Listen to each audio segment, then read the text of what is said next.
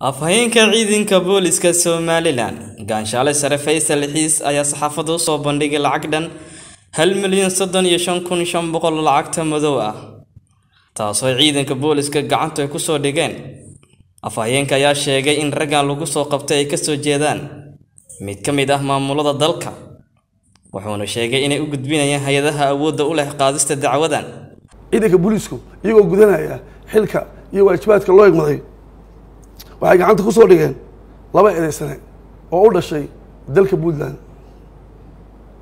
Kuwaas oo gacantooda lagu soo qabtay hal milyan oo dollar iyo shan iyo soddon kun iyo shan boqol oo doolarka madow ah.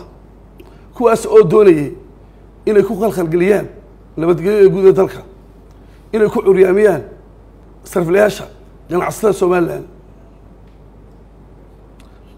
eedaysanayaasha lagu qabtay waxay kale yihiin number one faysal cabdishakuur yuusuf ina seynab cabdilaahi afar jir ah number two omar maxamed axmed ina xaliimo faarax soddon iyo toddoba soddon iyo toddoba jir ah sidoo kale waxay ciidanka booliisku gacanta ku soo dhigeen eedaysane cali faarax warsame.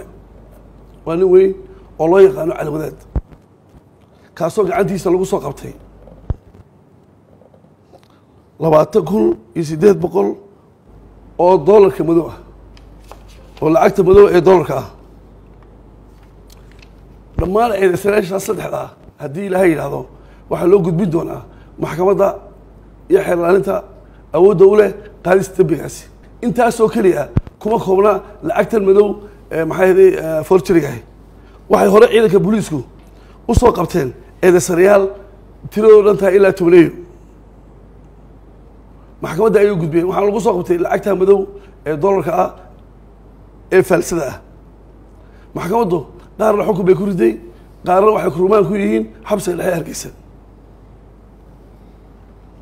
Iyadoo ay iska caddahay in aan ciidanka booliiska ciddo ka fakan karayn dadka dembiyada kala duwan caadaystay gelitaankooda sida lacagta madow ee forjariga ah kuwa sidoo kale gaanshaale sare faysal xiis ayaa dhanka kale baaq u diray shacabka ku dhaqan deegaanada somalilan wuxuuna sheegay in cid kasta ee lagu soo qabto lacagtaasi gacan bir ay ku soo qaban doonaan.